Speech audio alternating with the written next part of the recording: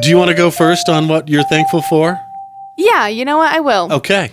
So I'm thankful for my pets, my little critters, just because I feel like they're, you know, they're sort of the the beings that I love going home to. They always make me feel special and loved. You know, I love that Rango keeps me active and he's so funny.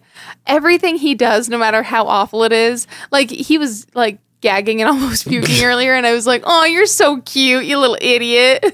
I would dare say anything that comes out of his body is adorable to you. I don't get it quite. Not quite, but you know.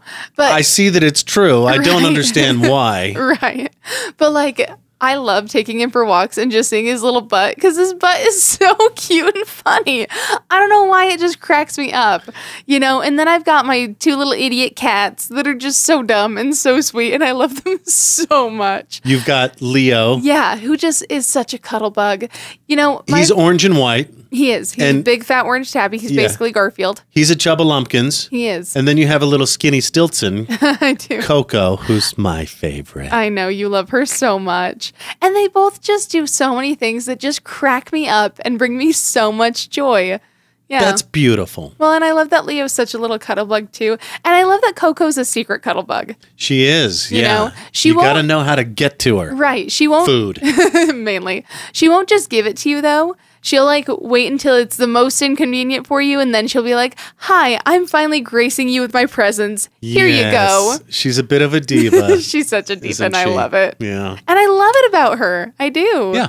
Yeah. They're just great little creatures and they make me really happy and they make me laugh all the time. So we we were hanging out together for a year, Uh-huh. a full year before Coco and I shared up. We had a shared moment where she looked up at me and was like, "Oh, you're okay." She's so funny.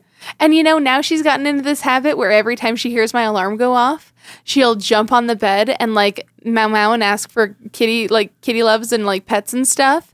And it's You're so a, annoying. You're a captive audience. Well, yeah, it's so annoying because either I have to get out of bed immediately and you're slowing me down, or I've set that alarm intentionally early so I can wake so up Mama slow. can snooze. Exactly. and here you are forcing me to wake up fast. Mm-hmm. but yeah, but I'm grateful to her for that too. Yeah. Yeah. I'm grateful for modern plumbing. Oh, that's a good one. And I just I um it's the thing that separates us from the animals. It is. There was a, um, I think it was a news article or a meme or something this week or two weeks ago about how, you know, how the royal court would travel from palace to palace in Europe? Oh, yeah. hmm And that's just, you'd summer in France and then you'd winter in eh, wherever. Yeah. That wasn't the only reason that they uh, switched palaces. A big, in fact, huge reason was all of the defecation started to pile up. Oh, jeez. Gross. Super gross. I hope you're not making Thanksgiving dinner listening to this.